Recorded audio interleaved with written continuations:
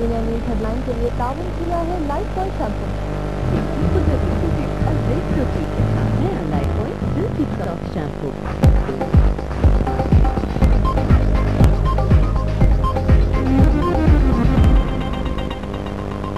दुनिया न्यूज़ पर अपडेट का सिलसिला आगे बढ़ाते हैं नज़र डालते हैं दुनिया हेडलाइंस पर।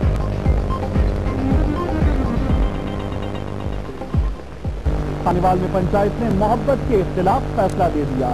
दिल बर्दाश्ता लड़के लड़की ने खुद को आग लगा ली।